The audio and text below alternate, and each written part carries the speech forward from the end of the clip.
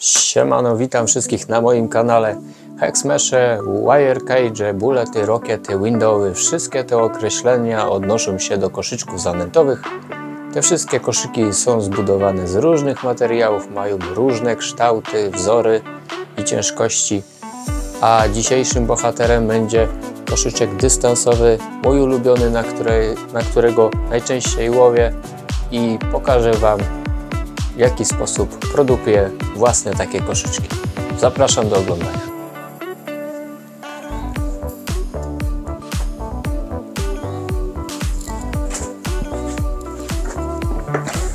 Podstawą koszyczka dystansowego wire, czyli siatka Muszę Wam powiedzieć, że dość długo szukałem odpowiedniej. Kupiłem wcześniej chyba trzy różne typy i żadna nie, nie spełniała moich oczekiwań. Trafiłem na to i akurat pech chciał, że już jej nie ma gdzieś tam na tych aukcjach, ale tyle co pamiętam, że była to siatka na klatki dla ptaków. Jest to gruby drut, te wcześniejsze, wcześniejsze się bardzo łatwo wyginały. Drugi, yy, gruby drut 7 mm, oczko 6 na 6 i podwójny ocęg. Naprawdę bardzo dobra siatka. Świetnie się zagina, a przy czym nie jest miękka i nie można zgiąć później tego yy, koszyczka, w, nie można go zmiażdżyć w palcach. Także siatka Nożyce do blachy, do drutu, większe, mniejsze. Przydadzą się również jakieś duże i mniejsze różnego rodzaju kombinerki. Mamy już siatkę. Pierwsze pytanie, ile wyciąć tej siatki? Ja po prostu zmierzyłem sobie koszyczek oryginalny Prestona i wyszło mi, że taki koszyczek MK ma 6 kratek na 13 kratek. I akurat na taki koszyczek najczęściej łowię. Świetnie mi się sprawdza przy łowieniu, szybko można go załadować dwoma palcami, jest poręczny. Ilość też nie jest zbyt duża ani zbyt mała, takie po prostu mój rozmiar ulubiony. I ja łowię kijem Shimano X1 Distance do 90 gram, także akurat załadowany taki koszyk Myślę, że waży w granicach 40-55 gram. Także to nie obciąża tego kija, a świetnie się ładuje i naprawdę daleko to lata. Takie 40-50 plus bez najmniejszego problemu, a jak najdalej jeszcze nigdy nie próbowałem tak naprawdę. 6 kratek w górę i 13 po obwodzie. I tak też wycinam swoją siatkę. Teraz Wam powiem, na co teraz trzeba zwrócić uwagę. Okej.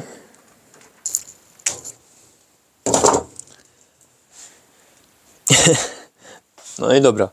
Mówiłem o 6, a uciąłem na 7, także precyzja to podstawa. No już niech będzie. Będzie po prostu o jedną kratkę wyższy. Teraz jedna ważna sprawa przy wycinaniu tutaj tej siatki. Jak możecie zauważyć, tu są takie ostre krawędzie, których nie może być. Ktoś by pomyślał, no i tak będzie przecież zalane ołowiem, ale nie będziemy nawet wtedy mogli powtarzać równego wzoru, bo raz nam zostanie załóżmy 3 mm, raz 4, dlatego lepiej od razu się trzymać jednego wzoru. Jeśli się przypatrzycie, to ta siatka jest na krzyż i jedna warstwa jest kładziona z lewej do prawej, a druga wzdłuż. Ja to zawsze przekładam w tą stronę, tak aby nożyce oparły mi się o ten drut i wtedy mam pewność, że tam pod spodem nie przetnę tej siatki.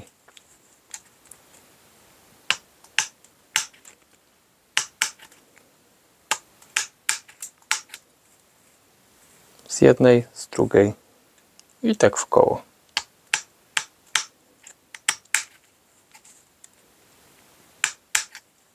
Dobra, mamy siatkę. Teraz trzeba zrobić z niej kółko. Jakiej wielkości będziemy potrzebować te kółko? Ja po prostu do tego znalazłem taki wałek Zwykły wałek drewniany to jest noga od krzesła, ale zauważcie, że to jest stożek. Wchodzi, klinuje się tu. I dzięki temu wiem, że muszę to zagiąć na tym wałku i będzie pasowało wielkością tego koszyka. Jeśli bym miał do produkcji załóżmy tylko jeden rozmiar, wtedy wałek mógłby być jednego rozmiaru. A dzięki temu, że to jest stożkowy, przydaje mi się jeszcze w dalszych etapach, ale to za chwilę. Także wyginam tą siatkę. A, jeszcze jedna sprawa. Wyginam to w ten sposób, że te wzdłużne są na zewnątrz. Spójrzcie, ten drut jest na tyle sztywny, że on chce wrócić do swojego pierwotnego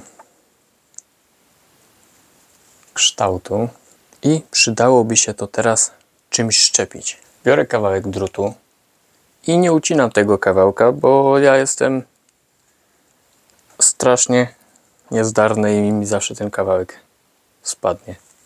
Całym drutem łapię tak, skręcam to. Drut musi być na tyle miękki, żeby nie stawiał takiego oporu zbyt silnego i nie rozrywał tutaj tej siatki. I teraz to jest ważne, żeby ten węzełek, który zagniataliśmy, był od zewnętrznej strony. Jak widzicie, wcale to nie jest jakoś mocno ściśnięte, ale spójrzcie, co się teraz stało. Tu jest taki dziubek. Można by to nałożyć na jakieś drewno i ściskać to szczypcami. Ale szczerze mówiąc, już próbowałem tak robić i nie jest to najlepsze rozwiązanie. Później ta siatka się gnie i wychodzi jeszcze coraz gorzej, coraz gorzej, coraz gorzej. I szczerze mówiąc, naprawdę sporo takich koszyków na początku zepsułem. Ja znalazłem sobie taki sposób, że używam takiego o-ringu. To jest metalowy pierścień. Nakładam go na siatkę, a drewnianym wałkiem jeżdżę w środku. Po kilku takich przejazdach jest naprawdę idealnie okrągła. Także temat samego koszyczka mamy już przygotowany. Teraz czas się zająć moim zdaniem najważniejszym etapem. A najważniejszym etapem w całej tej produkcji jest forma. Forma, którą robiłem trzy razy, dlatego to wszystko tak długo trwało. Za każdym razem, kiedy myślałem, że już, już mam idealne rozwiązanie, coś mi się spieprzyło. Takiej receptury, jak zrobić taką formę, no nie mogę Wam sprzedać, bo, bo ja się za bardzo nie znam na tym. Po prostu mogę Wam powiedzieć, z czego ja to użyłem. To jest jakieś 11 łamane na 4 łamane na 1 druga lub 1 łamany na 1 czwarta łama, y, razy 1 druga cala to chyba jest. Także zrobiłem to z takiego czegoś. W środku był gwint. Pojechałem sobie do sklepu z tym w kieszeń. Dobrałem sobie taką mosiężną tulejkę. Ta tulejka akurat pasuje mi na koszyczek. I chciałoby się powiedzieć, że idealnie, bo akurat w środku jest gwint. Wystarczy tylko wkręcić i nalać tu sobie, o, włożyć, zalać go ołowiem i będzie już idealna forma. Właśnie nie za bardzo. Ja ten gwint, że tak powiem, zerwałem, przeszlifowałem tutaj takim rozwiertakiem, tak aby wchodziło to z oporem ale łatwo było to wyrwać. Jeśli będzie to na sztywne, na sztywno, tu się jeszcze wszystko zaleje, wtedy to będzie, załóżmy, że tak powiem, wszystko sklejone i będzie przy wyjmowaniu, popsujemy całą konstrukcję i wyjdzie Wam, załóżmy, coś takiego. Takie coś pogięte. Ach takie coś popalone, będziecie chcieli to wykręcić i wyjdzie ci coś takiego, albo będziecie chcieli to wyrywać do góry i wszystkie druty wam się poupalają. Także nie polecam. Ja tak naprawdę dopiero teraz zrozumiałem, dlaczego tak mało ludzi dzieli się tym handmade'em. Zanim do czegoś człowiek sam dojdzie, to mija czasami miesiące, lata i jeszcze czasami coś się udoskonala. No ale jakoś ja nie mam z tym problemu. Można na wszystkim budować markę, można nawet kupić sobie gotową formę i lać wszystkie przynęty takie same i powiedzieć, że to jest nasz handmade, bo samemu sobie go pomalowaliśmy areografem. A ja mam zabawę z tym, że sam coś tworzę i radość z tego. Dlatego mogę na każdym etapie Wam coś podpowiedzieć, bo każdy ten etap musiałem sam przejść przez te wszystkie bolączki. Ale wracając do, do formy. Mamy już y, formę, koszyczek. Teraz czas na obciążenie. Ja obciążenie robię w ten sposób, że gotowe partie, gotowe ilości, takie jakie będę chciał, ważę sobie od razu na, na wadze, z, razem z koszyczkiem. A więc tak, wrzucam sobie i mam 25 gram, tam tych dziesiątych już nie liczę. Od razu odkładam sobie kawałek i z jednego kawałka odcinam taki mały okruszek. Także teraz zrobiłem to w ten sposób, że całą formę najpierw grzeję sobie na kuchence gazowej. Takiej małej wyciągnąłem go, wyciągnąłem ją z, z mojego małego kampera i grzeję do tego momentu, aż ten okruszek w środku zacznie mi się topić. Jeśli się stopi, wtedy jestem pewien, że ołów w tej formie też się stopi. Dopiero później przy użyciu tej łyżki zaleję tu do środka roztopiony ołów i wtedy będę miał czas, aby wrzucić ten koszyk tu w tą matrycę. Dlatego też te supełki zostawiłem na zewnątrz i zadbałem o to, aby koszyk był idealnie okrągły, inaczej zawiesiłby mi się. Ja zacząłbym to naciskać, a to jest wysoka temperatura i pewnie albo bym się poparzył, albo cały ołów by gdzieś wyleciał. Także ja doszedłem do tego w ten sposób. To jest mój sposób. Jak na razie najlepszy. Nie będę go zmieniał, bo już tyle razy już to robiłem. A tym sposobem akurat mi to wszystko wychodzi. Także odpalam kuchenkę. Zapomniałem, że będzie do tego też potrzebna woda w garnku stalowym, nie plastikowym. Także tak, stawiam tą formę na takich kratkach, sobie dorobiłem z grilla. I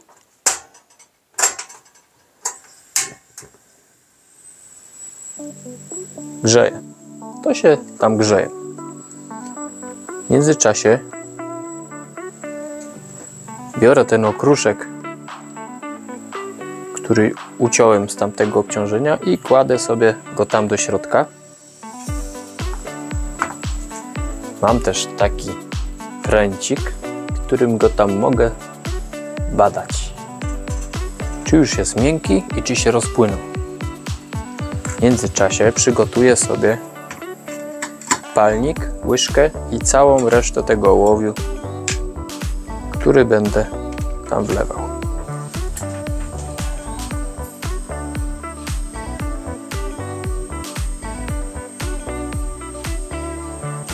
No, okruszek. Już się robi miękki, ale jeszcze nie pływa. Dobra, widzę, że ten kawałek ołowiu już się roztopił. Więc zaczynam grzać pozostałą część.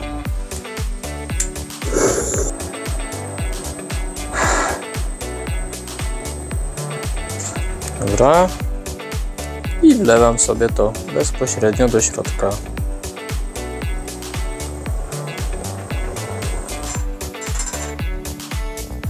I wpuścić tu nasz koszyczek. Teraz wystarczy tylko poczekać, aż to się trochę przestudzi. A za chwilę najfajniejsze. Dobra, jeśli widzę, że ołów we formie jest skrzep, biorę tą rurkę i wkręcam tu w środek, tak aby nie łapać za gorące. I teraz najfajniejsze co może być. Łapię to i zanurzam w zimnej wodzie.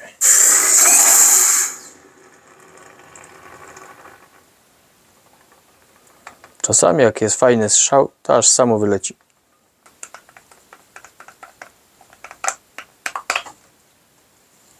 Dobra. Wyszła nam taka forma.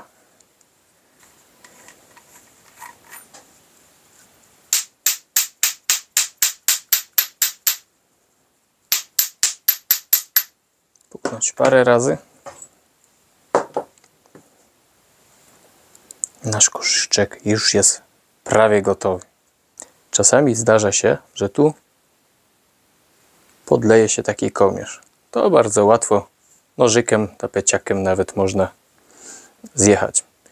I teraz jedna rzecz, której jeszcze nadal nie mam, a powinienem teraz zrobić, to włożyć tu z powrotem ten klocek i numeratorem nabić tu gramaturę.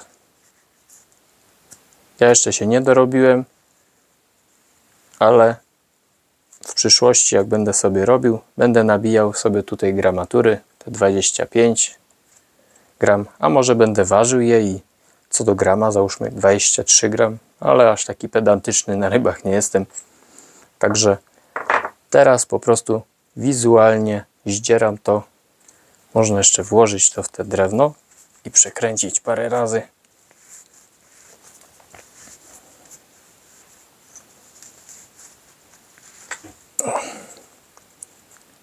I już to tam w środku naprawdę ładnie wygląda. Wszystko jest gładkie i nie ma zadziorów. Dobra, tak na szybko. Następną rzeczą, którą robię, to z powrotem wzmacniam tutaj to połączenie. Ono już jest na tyle mocne, że można by to tak zostawić i widziałem koszyki, które nie mają tutaj tego wzmocnienia ale ja biorę lutownicę i chociaż tu na tym łączeniu robię taki cienki lutowany spaw, a ten okruszek z powrotem rozcinam i pozbywam się go. Tego druciku, który wcześniej zaplataliśmy.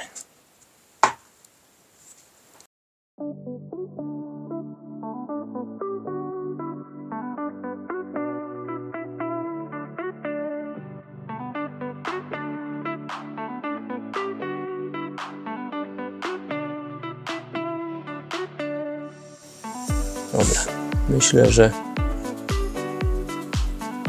na rynku zgrzewane koszyki są, ale tak zlutowanego ręcznie na pewno nie. Tak to wygląda.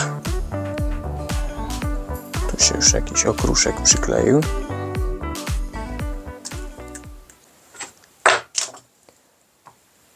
Co teraz nam pozostało? Pozostał nam system rzutowy do zaczepu, czyli ja robię szelki z grubej linki lub fluorokarbonu. Y, dlaczego akurat szelki, a nie dolutowałem sobie tu jakiegoś oczka albo nie wypuściłem? Z prostej przyczyny ja nie lubię jak przy zwijaniu to wszystko mi zaczyna się kręcić, żyłka się zaczyna skręcać. Teraz pozostaje nam założyć te szelki, ja zakładam to za tą obręcz, a widziałem, że czasami nawet seryjne koszyki są załapane tu za ten jeden za ten jeden drucik i moim zdaniem to jest błąd, bo chyba łatwiej rozlutować lub łatwiej przerwać tutaj jedno połączenie, jak wyrwać cały ten okrąg, gdzie jest połączony, nie wiem, 13 czy ileś razy tam, nie? Ja na razie tego nie będę robił, dlatego że ten koszyk będzie malowany. Będę go malował proszkowo, ale o tym jeszcze na razie Wam nie będę opowiadał, ponieważ to już jest taki dłuższy projekt i materiał na następny film. Po prostu pokażę Wam efekt już po, po pomalowaniu proszkowym. Koszyczek mam już pomalowany i teraz czas tutaj na te szelki. Nie wiem, czy za bardzo nie zaszalałem z tym materiałem, ponieważ używam do tego linki fluokarbonowej do przyponów na szczupaka do 45 kg i savage'owskich tulejek podwójnych do ściskania. Być może, że tak, ale z drugiej strony mam pewność, że to nigdy nie puści. Może jak kiedyś wpadnie mi coś w rękę równie dobrego i sprawdzonego, to na to zmienię. Póki co ucinam około 15 cm fluokarbonu. Zakładam tulejkę i takimi specjalnymi szczypcami do zaciskania tulejek zaciskam tutaj e, te szelki. Jedna uwaga, zaciskamy to raz, a porządnie, tak samo jak się robi do zbrojki na szczupaka. Nie poprawiać z kilku stron, żeby jeszcze bardziej to poprawić, to, to nie idzie w dobrą stronę. Raz, a porządnie. Także kończę teraz koszyczek i pokażę Wam efekt końcowy. Spójrzcie. Tak wygląda pomalowany koszyczek. To jest farba imitująca glony. On się jeszcze gdzie niegdzie tam szkli. Ogólnie jak pomalować ten koszyczek powiem innym razem, ale wygląda naprawdę mega. Myślę, że nie ma się czego wstydzić.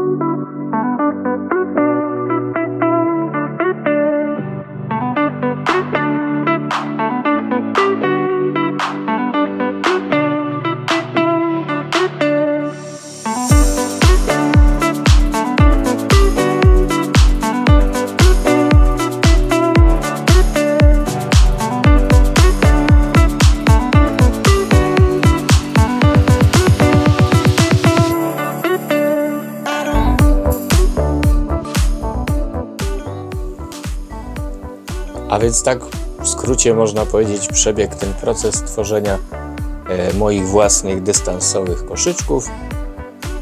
Muszę Wam powiedzieć, że to dość długo trwało, ale no musicie mi wybaczyć, że na każdym etapie muszę to wszystko posprawdzać. To nie jest taki film z cyklu hej, przygotujcie sobie haczyk, krętlik i jakąś paletkę i pokażę Wam jak to wszystko połączyć no to jest cały proces, a więc to z montażem trwa dość długo. No i zdaję sobie sprawę, że te filmy powinny być dość częściej i już przyszykowałem sobie kilka takich nowych tematów. Także jeżeli nie chcecie przegapić y, nowego odcinka, możecie powciskać te wszystkie guziki, dzwonki i te inne sprawy. Pozdrawiam wszystkich y, moich stałych widzów i tych nowych subskrybentów.